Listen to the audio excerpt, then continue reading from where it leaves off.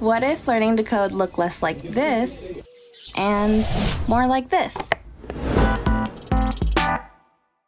We want to introduce kids to coding, block by block.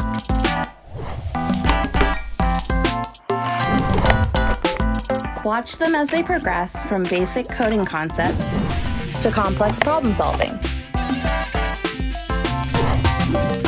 They practice creativity and teamwork on a wondrous coding journey.